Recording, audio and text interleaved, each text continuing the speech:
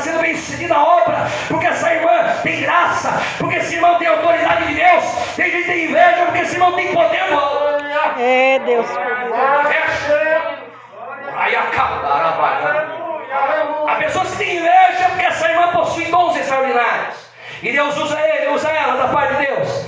O invejoso toma, ele na verdade conta e quer entrar no mesmo lugar onde está essa pessoa, mas ele não tem condições. Eu tenho uma palavra de Deus para você, uma péssima notícia para os invejosos de plantão. Deus continuará, escute bem, Deus prosseguirá, Deus continuará dando sequência, e você que está sendo usado permanecerá ensinando com graça, com poder, com excelência, com autoridade com ousadia e com destreza. Aleluia! Levante sua mão para o céu, aleluia. Eu tenho algo de Deus ainda, meu irmão. Jesus continuará usando em você de uma forma grandiosa. Sejam pessoas invejosas quando você ou não. A perfeição circunda você. Meu Deus do céu. O Espírito Santo cerca você. Quando eu falo isso, meu irmão, minha perna treme. Isso aqui não é papo de pregador. Escute bem, meu irmão. Ainda que seja um sentimento ruim de inveja e difícil dominar, infelizmente habita dentro de cada um de nós. Cada um de nós. Sem exceção. E nos cabe dominá-lo. Domine isso, irmão. Olhe para cá. Fique feliz quando esse irmão está ensinando algo da parte de Deus. Você crê nisso, meu irmão? Quando ele está trazendo uma mensagem, os apóstolos estavam fazendo o seu trabalho que competia. Há pessoas aqui nessa noite que estão sendo tentando ser derrubadas por invejosos. A palavra de Deus para você, minha irmã, minha irmã, continue. Não, você não quer continuar. Continue. Não, eu vou falar até você adorar. Continue. Continue, pastor Geraldo. Continue, pastor Geraldo. Continue, igreja. Continue, irmão Antônio. Continue, minha irmã, minha irmã. Continue, irmã do Figuração. Continue, jovem e adolescente. Continue. Glória a Deus. Aleluia. Meu Deus do céu. Você pode sentir a presença? Você pode sentir a presença do Todo-Poderoso? Ele está cercando este lugar. Há algo pleno aqui nessa noite. Nós já podemos trabalhar de uma forma forte essa mensagem. Ela já está atingindo o seu coração. Há pessoas assim, sendo perseguidas pelos saduceus. Tem algum invejoso que está no teu encalço. Não é verdade, minha irmã? É na rede social, irmão Fernandes. Tem um monte de invejoso me seguindo. Fique tranquilo. Deus está no trono e ainda é onipresente. Você está crendo nessa noite, meu irmão? É lá na empresa invejoso. É aqui. A palavra eu volto a dizer, não sei o que está acontecendo de uma forma espiritual, mas eu vou dizer para você, se você está tendo inveja de alguém aqui, eu vou dizer uma coisa para você, Deus continuará usando esse irmão e essa irmã, aceitando você ou não. Aleluia! Tem uma palavra de encorajamento para alguém aqui, meu irmão. Alguém está sendo oposto por essas pessoas, esses são os seus. Meu Deus. O apóstolo Paulo fala algo tremendo em Filipenses 2 considerando os outros superiores a si mesmo. Quando nós consideramos os outros, deixamos de pensar só em nós. Aí temos menos inveja. E somos duplamente abençoados. Glória a Deus. Entenda isso. Glória a Deus. Nós podemos ser o alvo da inveja. E estou ficando assim, irmão. Eu não aceito ninguém pregando. Olha para cá. Eu sinto uma coisa séria quando eu falo isso. Não estou me sentindo bem quando eu falo isso. Uma coisa ruim, diferente. Gente não aceitando alguém aqui quando está falando no altar. A gente assim aqui nesse lugar não sei de nada, hein? Você oh, Aleluia! Não fico pescando, não, hein? Mas há pessoas aqui que não estão sendo aceitas em alguns momentos falando nesse altar. Alguma coisa está acontecendo, mas Deus está quebrando os invejosos e está convertendo eles a serem uma pessoa abençoada e grandiosa na sua presença. Abra guarda. Deus poderoso. Assim disse irmão, porque ele foi comprado igual você. Aleluia. Eu já vi gente, meu irmão, ligando para outros quando eu pastorava na convenção, um para outro, e o irmão vai pregar lá, irmão geral. Esse foi ele, eu não vou. Eu acho que vai ser o irmão Hélio. Que coisa séria, irmão. Espero que isso não aconteça aqui. E tem irmão que é assim, irmão. Hum, a cara de estudo, irmão. E nós temos uma coisa muito séria, pastor Hélio. O pessoal tem essa mania enquanto alguém está falando quando não gosta. Olha para cá. E é um demônio isso aí na pessoa. Eu digo que é um demônio, eu sou ousado no que falo.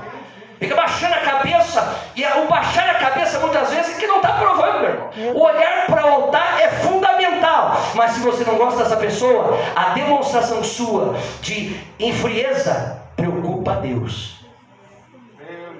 Preocupa a Deus essa tua atitude. O nível espiritual, irmão, Deus está levando algo muito sério aqui nessa noite.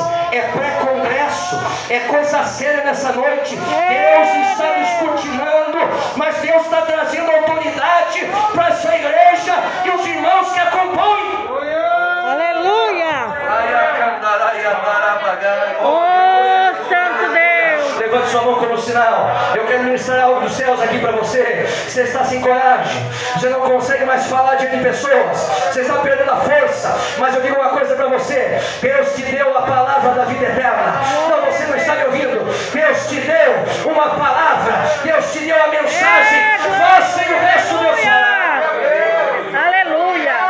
Oh Jesus querido, aleluia, aleluia, aleluia, aleluia, aleluia. Os saduceus aproveitaram esse momento.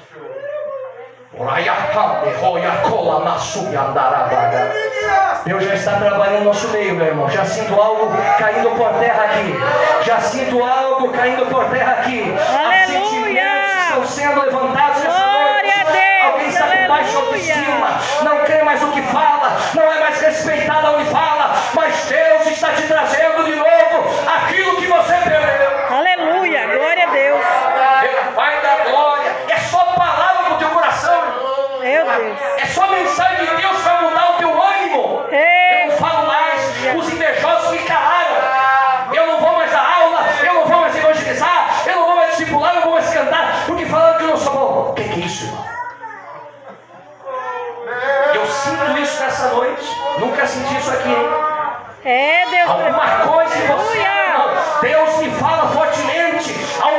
sensação de incompetência.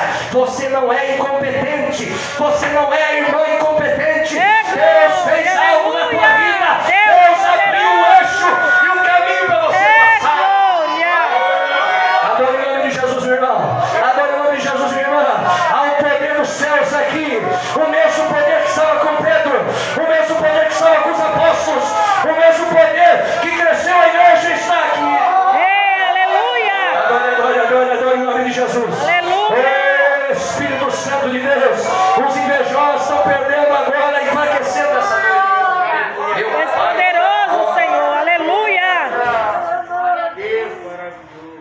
coisa ficou tão séria, pastor Geraldo, que nesse momento, olhe para cá, igreja, coisa séria aqui. Quando se enchem eles, os saduceus, ou seja, esses homens religiosos que se diziam os bambambam da época, eles não só se enchem de inveja, mas o versículo 18 fala que eles lançam a mão nos apóstolos. Meu Deus. Porque invejoso é o seguinte: quando ele não quer ver a pessoa crescer, aí ele bota a mão e faz a manobra dele. Olha para cá. Tem gente, irmão, que não gosta de nós. E o objetivo dos religiosos saduceus era pegar os apóstolos mesmo, no focinho, e botar eles numa prisão. Pensa o nível, irmão. O ódio resultou na violência. As autoridades judaicas provocaram, ou seja, promoveram uma franca perseguição. Os saduceus se opunham a qualquer ensinamento que os apóstolos estavam fazendo. E os apóstolos estavam pregando o quê? Jesus havia ressuscitado. Glória a Deus. Jesus havia ressuscitado. Acho que isso aí não te dá mais força, né? Jesus havia ressuscitado. Aleluia. Jesus ressuscitou. Você crê nisso? Glória a Deus. Jesus ressuscitou. Glória a Deus. Glória. Se os apóstolos continuassem a ensinar, irmão, presta atenção. Isso você, meu irmão, eu venho nessa noite como uma pessoa que está acionando coisas no mundo espiritual aqui. Você crê nisso? Irmão, Deus está procurando ensinadoras. Você nunca vai ouvir essa mensagem. Glória a Deus. Aleluia. Deus essa noite, meu irmão, está procurando ensinadores. Aleluia. Não de pregadores, não. Ensinadores, ensinadoras. Nunca se viu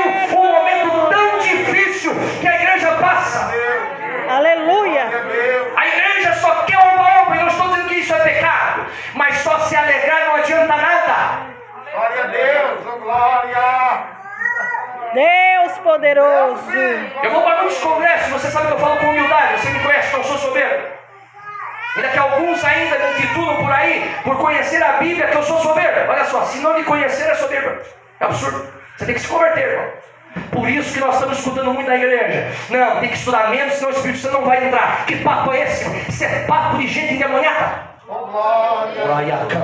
Deus poderoso. E alguns oram demais, olha para cá, e jejum demais, e não lê nada. E detalhe, irmão, escute com atenção o que eu vou falar. Por que, que você ora? Por que, você jejua? Porque a Bíblia fala. A palavra diz para você orar. A palavra fala para você jejuar, fala para você evangelizar. Ela que fala, ela que começou. E alguns dizem, não, a Bíblia nasceu na igreja. Que coisa é essa?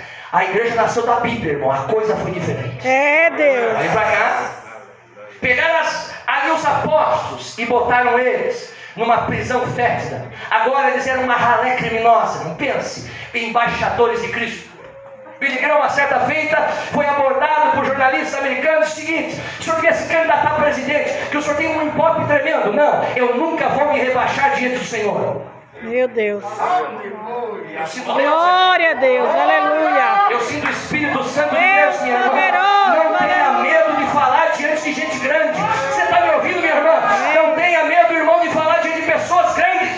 Aleluia. Agora os apóstolos estavam numa cela. Incidente mostrou agora aqui como o ódio dos saduceus incentivava cada vez mais a essa prática. E eles não trataram os apóstolos de Cristo, nem ao menos com o mínimo de respeito, jogarem na cela com tudo e eles lá dentro, com criminosos. Misericórdia. Quando a gente foi presa, no ultimamente, missionários por aí, de forma desrespeitosa. Nosso evangelho, nosso ensino em alguns lugares está sendo prostituído. Olha para cá, fica comigo. Tem gente, meu irmão, que nessa noite aqui Deus falou comigo, se encontra numa trincheira, Meu Deus. se encontra excluído.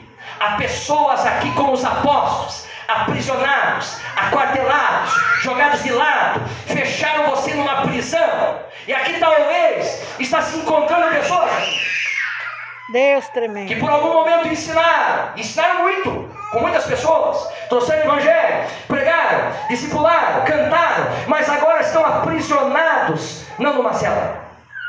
Não estão aprisionados numa masmorra, não, estão aprisionados aqui. Ó. Aqui é problema. Aqui a coisa é muito séria. Quando aqui trava, meu irmão, a coisa não vai. Você pode escutar essa mensagem, mas se aqui não quer, o corpo não vai fazer.